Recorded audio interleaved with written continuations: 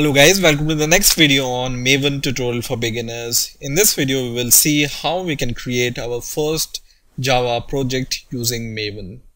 So for example, I have created a directory in which I want to create my first Java project using Maven.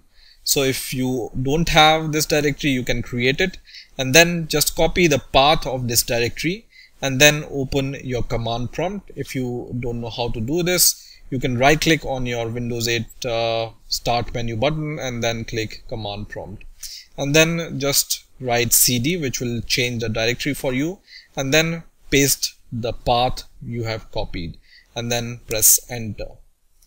Now to create a Maven project what you need to do is you can give this type of command which is mvn then just write archetype and then colon generate. And what does this command do?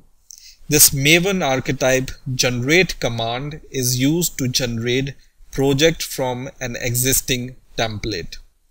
Now normally what happens is if you are a developer and if you are not using maven then you need to make the project structure by yourself and this in itself is very tedious task if you want to be a perfect uh, you know if you want to make a perfect directory structure for your project. And if you are a new java developer then you may do mistakes while creating this directory structures. And this command will help you to create a perfect directory structure for you now there are several archetypes defined by many developers and project groups on the Maven repository online. And when you give this command, what it's going to do. So let's press enter and let's see what happens. But before giving this command, make sure that you are connected to internet because it's going to download some uh, plugins from internet. So just press enter. And once you press enter it's going to download those plugins. So you can see it's scanning for projects and then it's started downloading some files from here. Now what it's downloading? These downloads files are something which are called maven archetype plugin which are required whenever you are going to create your first Maven project. And whenever you give this Maven archetype uh, generate command it's going to search for these plugins in your computer first at a specified location.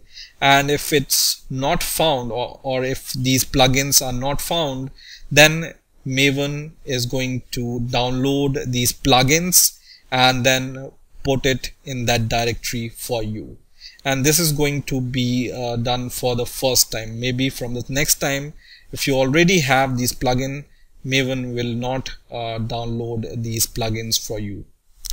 Now after downloading all the plugins Maven will give you this these options. And you can see these numbers here 15060 and when you scroll up you can see lots of numbers and uh, some text is written in front of them. These are all the archetypes right? So these are all the archetypes from which you can choose from. And by default maven will choose a maven archetype quick start archetype which is basically to create a maven hello world project with source and test classes and you can see the number of this archetype.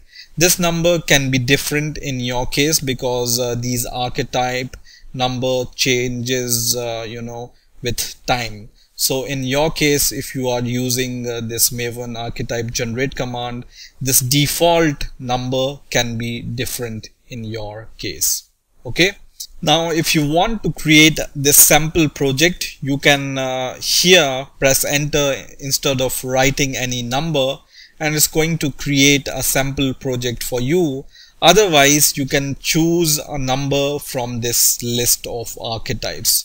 This list of archetypes will uh, give you all kind of project templates here for example you want to choose uh, some kind of uh, restful spring uh, project then you can choose this number which is 1556 for example. Or you can uh, browse through this list and choose the project or kind of project you want to make.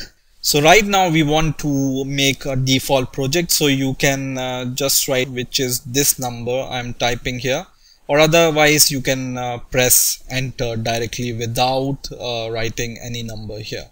So let's uh, press enter to create a sample project. And now it's going to give you these options. Now what are these options?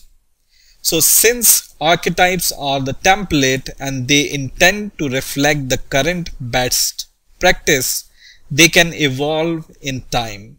Thus they have their own versions. Maven will ask you which version of archetype you want to use. So you can see different type of versions uh, listed here. We are going to choose the last option which is the latest version. But if you want to choose uh, the previous versions you can uh, you know freely do this. So I'm going to just type 6 here which is uh, reflecting 1.1 version and I'm going to press enter now in the next step we will be asked to provide the group ID now why uh, this group ID is asked now every Maven project have its group ID, artifact ID and version. And Maven will ask you to provide these IDs in three steps. First it will ask you to provide group ID, then it will ask you to provide artifact ID and then it will ask you to provide the version. And this group ID is generally a unique amongst an organization or a project. Now, for example, uh, your organization is, uh, for example, CodeBind. You are working for an organization called CodeBind, and the website for this, uh, you know, organization is codebind.com.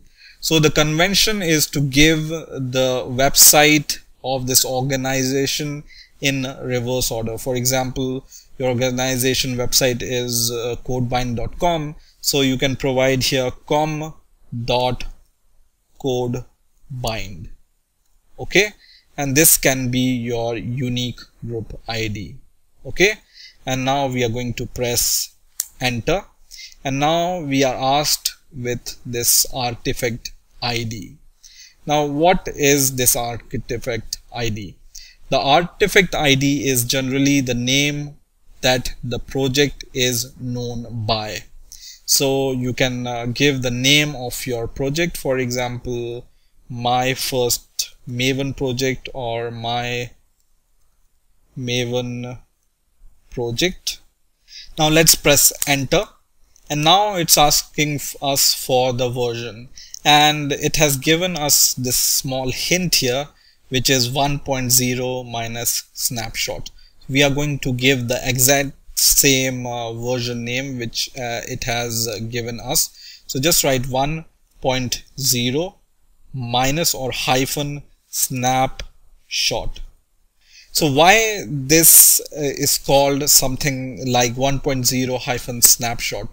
So whenever you see a project with a version something like this which has this keyword called snapshot then it's in the development uh, you know version right?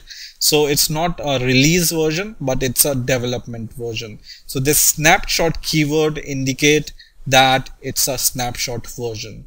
Now whenever you build your project uh, you can generate a jar file or a war file for your project and the jar or war file name will be this name which is artifact id dot your uh, version name so artifact id is my maven project dot 1.0 minus snapshot and then the extension for example dot jar so press enter and now it's going to ask you for the package and it's uh, giving us this hint also. So we uh, will follow the hint. We will just give uh, com dot code bind but we are going to uh, generate our code inside this demo uh, folder right?